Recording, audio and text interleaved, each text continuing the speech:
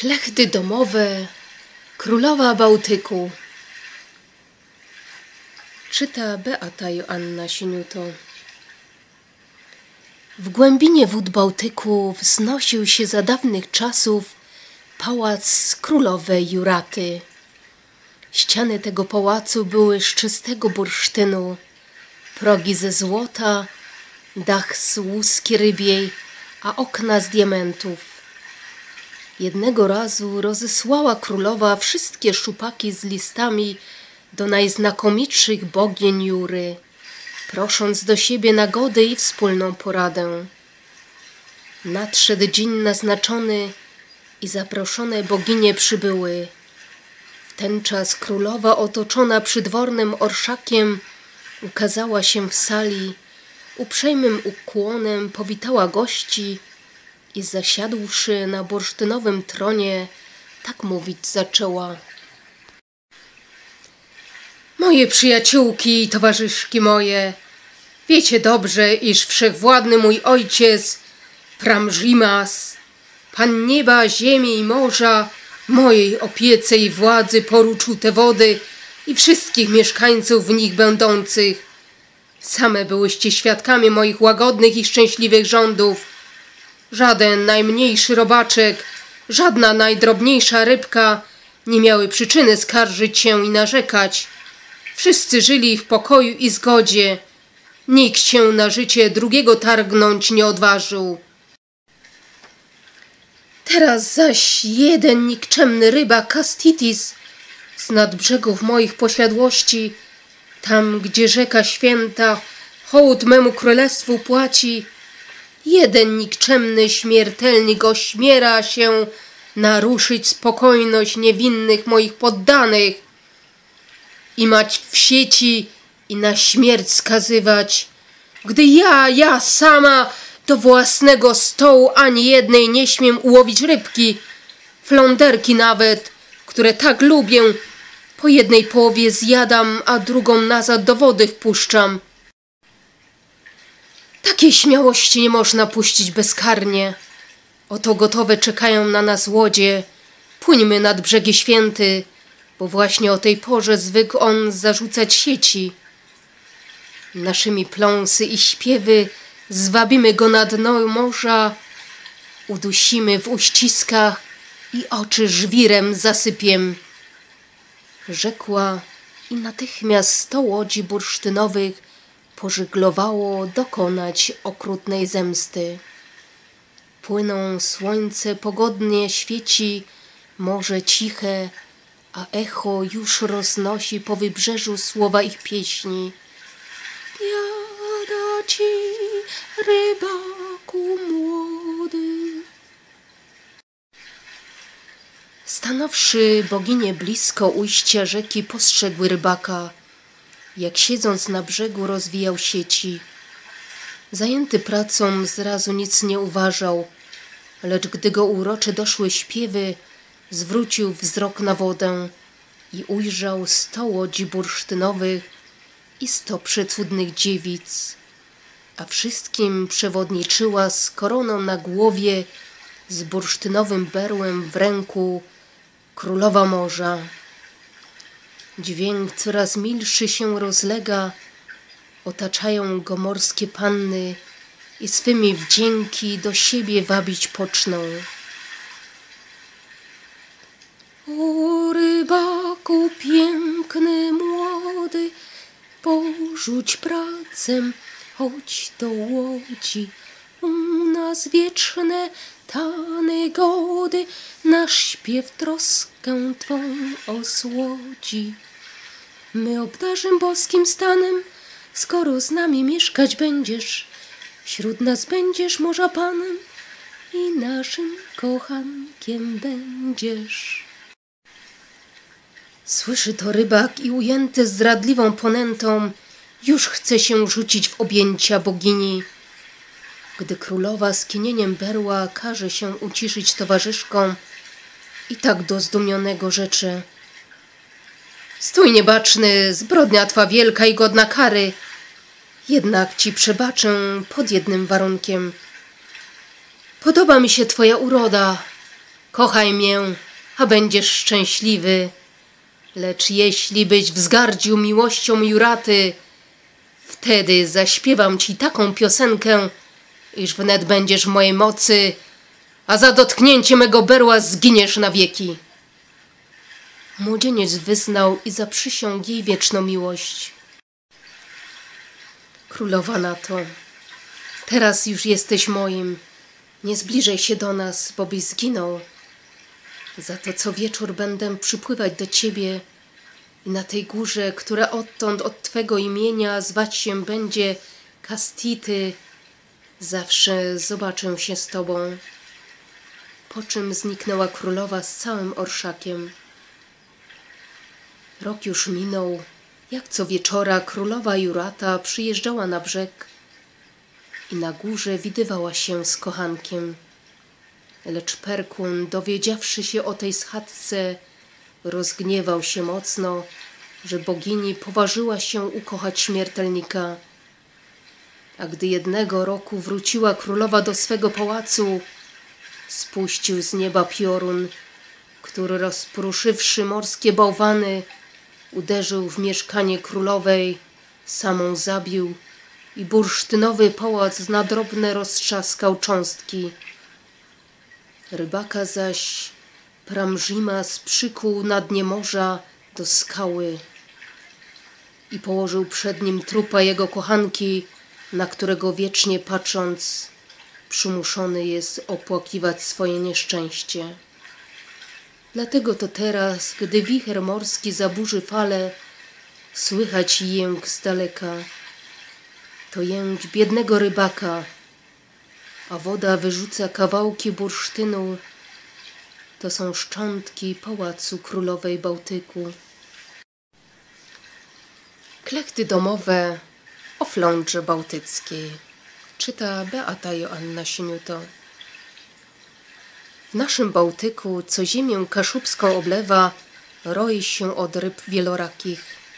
Są tam przede wszystkim wielkie ilości śledzie oraz flądry, zwane przez ludność nadmorską storniami, jako że te ryby płasko, czyli na stronie pływają. Są zbliżone do nich turboty, zwane skarpiami, są dorsze, czyli pomuchle, a również węgorze, sandacze, szczupaki i okonie. Poławiane w zatoce, a lubiące wodę słodką rzek, zarówno jak słoną mórz. A już najwięcej jest chyba w wiku i na pełnym morzu szprot. Gdy te jasne, żywe rybki wysypują rybacy na brzegu z sieci, wyglądają one jak srebrne, błyszczące pieniążki. Nic w tym nie ma dziwnego, są one bowiem bogactwem tego morza. Poławia się je przez całą zimę i żywi się nimi ludność rybacka wtedy, gdy zabraknie chleba i kartofli, które tu się nazywają bulwami. Dawnymi czasy, gdy ryby kłócić się zaczęły między sobą i wyrywać sobie żer, a najczęściej większe pożerały słabsze, Uradziły one między sobą, że trzeba im obrać króla, który by nad nimi panował, ustanawiał prawa, karał winnych i roztrząsał wszystkie spory na dnie morza. Doszły do przekonania, że bez króla się nie obejdą i że trzeba obrać taką rybę, na którą zgodzono by się jednomyślnie. Flądra, która była bardzo zarozumiała, Myślała po cichu. Na pewno ja królową morza zostanę. Nie jest bowiem powiedziane, że królem ma być łosoś, szczupak lub węgorz. Może rządzić także i kobieta, tak jak się to dzieje i u ludzi. Pełna najlepszych nadziei czekała bałtycka flądra, aż korona i berło jej przypadną w udziale. I tak od niechcenia niby rzuciła projekt. Po cóż się długo kłócić i naradzać? Ta ryba zostanie królem, która pierwsza do przystani na Helu podpłynie w białym fartuchu. Dlaczego koniecznie w białym fartuchu? Zawołały chórem wszystkie ryby, nie domyślając się, że chytra flądra siebie ma na myśli. Ach, drogie siostrzyczki i braciszkowie, że też się nie domyśliliście od razu. Biały fartuch, toć to najpiękniejszy strój i najbardziej w nim do twarzy. Białe fartuchy noszą wszystkie skrzętne gosposie, a wszak miło nam będzie, gdy nasz król będzie w morzu dobrze gospodarować. Dobrze mówi Flądra. Zgoda na biały fartuch. Odpowiedziały węgorze i łososie, które rej wodziły w zatoce. I nóż się oglądać, skąd by sobie takie fartuchy uszykować. Czy z kawałków podartych żagli, czy ze skrzydełek białych mew. Rozbiegły się na wszystkie strony w poszukiwaniu tych fartuchów. Tymczasem zbliżała się szybko godzina, kiedy na cyplu helskiego półwyspu uszykować się miały ryby do wyścigów decydujących o ich losach w morzu. Na znak węgorza puściły się co sił w płetwach w drogę ku przystani.